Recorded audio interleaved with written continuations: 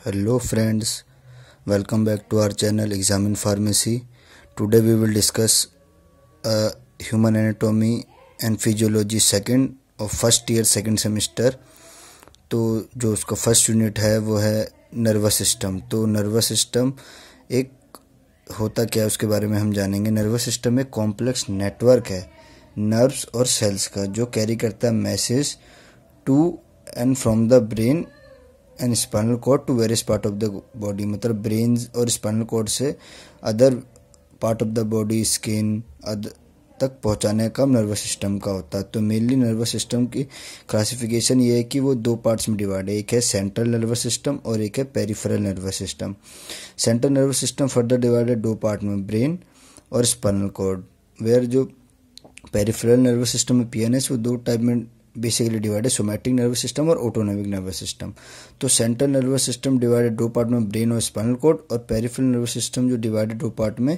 Autonomic और somatic nervous system तो उसके बाद हम देखते हैं कि इसका ऑर्गेनाइजेशन कैसा है, कि ऑर्गेनाइजेशन ऑफ़ नर्वस सिस्टम तो यहाँ हम देखेंगे नर्वस सिस्टम मेनली डिवाइडेड दो पार्ट्स में सी एन एस और पी एन एस जैसे मैंने बताया था। सी एन एस में ब्रेन और स्पाइनल कोड और पी एन एस दो पार्ट में सेंसरी और मोटर ठीक? वेयर जो सेंसरी पार्ट है, वो सब डिवाइड नहीं है। मोटर टू पार्ट्स में सब डिवाइडेड है। जैसे कि हमने अभी लास्ट नर्वस सिस्टम की क्लासिफिकेशन में पढ़ा कि वो सोमेटिक और ऑटोनोमिक में डिवाइड है और ऑटोनोमिक दो पार्ट में सिंपेथेटिक और पैरासिम्पेथेटिक उसके बाद सेंसरी और ये मोटर जो दो टर्म है, ये क्या है? तो सेंसरी एक नर्व फाइबर है, जो इन्फॉर्मेशन को मेनली ट्रांसमिट करता है। सीएनएस की तरफ़, जैसे ऑर्गन से ब्रेन की तरफ़, इसे हम एफरेंट फाइबर्स भी कहते हैं। और वेयर जो मोटर है, वो नर्व फाइबर वो इन्फॉर्मेशन ट्रांसमिट करता है अवे फ्रॉम द सीएनएस मतलब ब्रेन से other parts of the body ठीक है, उसे हम ईफ्रेंट फाइबर्स कहते हैं। सेंसरी जो है एफरेंट फाइबर्स है, और मोटर जो है वो ईफ्रेंट फाइबर्स है। उसके बाद जो नेक्स्ट टॉपिक हमारा आता है, वो आता है न्यूरोन कि न्यूरॉन है क्या? तो न्यूरॉन जो है वो बेसिक बेसिक स्ट्रक्चर और फ़ंक्शन यूनिट है नर्वस सिस्टम की। जैसे कि ये आप स्ट्रक्चर देख पा रहे हैं न्यूरॉन का तो उसमें देखिए जो ये स्पाइंस लगे हुए रफ सरफेस वो जो है डेंड्राइड्स है, ठीक है? उसके बाद ये इसका न्यूक्लियस है एंड देन ये जो मेन काम करता है, ये है एक्जोन ये अदर न्यूरॉन्स तक इंफॉर्मेशन ट्रांसमिट करता है। ये एक्जोन के ऊपर माइलिन सीट बनी हुई है जैसे कि आप देख रहे हैं, और ये जो पॉइंट्स ब्रेक हो रहे हैं, उन्हें कहता है नोड ऑफ़ रणवीर ये इसका एक न्यूक्लियस है जो कंटेन करता है डीएनए और यहाँ पर एक स्वान सेल है जिसे उसका न्यूक्लियस है। ठीक? आफ्टर डेट इसके बारे में डालेंगे कि न्यूरॉन जो है वो बेसिक स्ट्रक्चरल और फंक्शनल यूनिट है नर्वस सिस्टम की।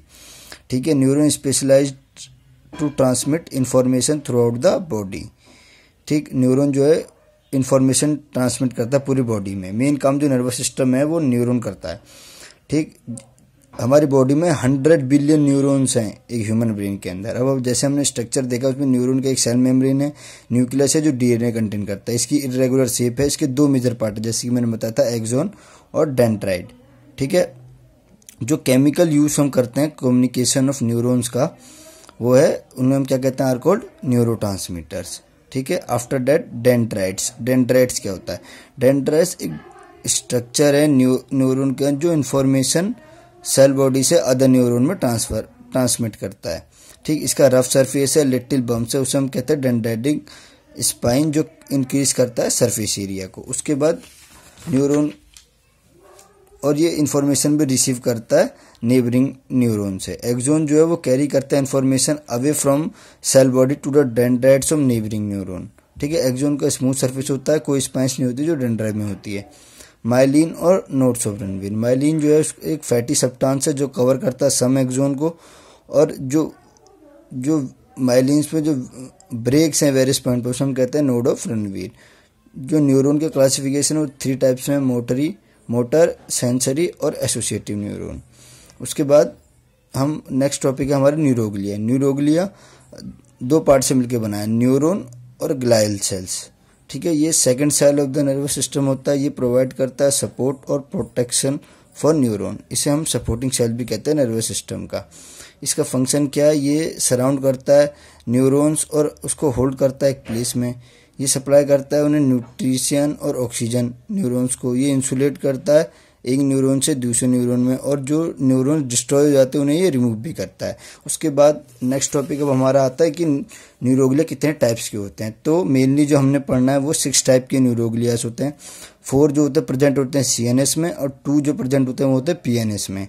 तो पहले हम सीएनएस के देखेंगे। सीएनएस में फोर टाइप्स के होते हैं ओलिगोडेंड्रोसाइट्स माइक्रोगलिया एस्ट्रोसाइट्स और एपिडेमल सेल्स ओलिगोडेंड्रोसाइट ये फॉर्म और मेंटेन करता है माइलिन जिसका है सेम फ़ंक्शन शो करता है, ऐसे Schwann cell in peripheral nervous system ठीक माइक्रोग्लिया ये डिराइव्ड होता है मोनोसाइड से, जो माइग्रेट करता है ब्लड किसमें? नर्वस सिस्टम में बर्थ से पहले।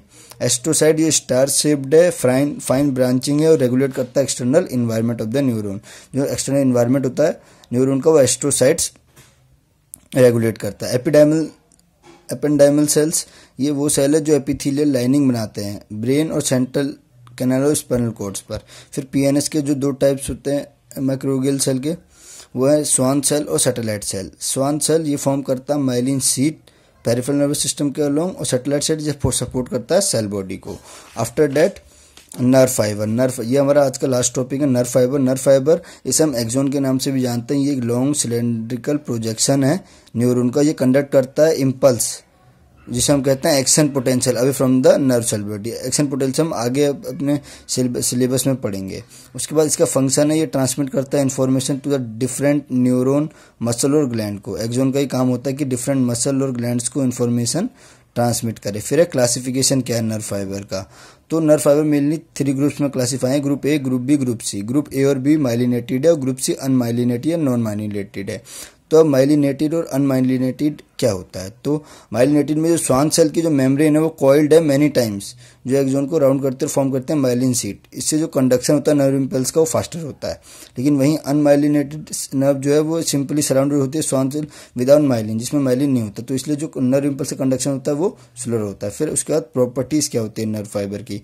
एक्साइटेबिलिटी कैसे होता है? All or none phenomenon yellow refractory refract period or conductivity. So that's all for today's topic.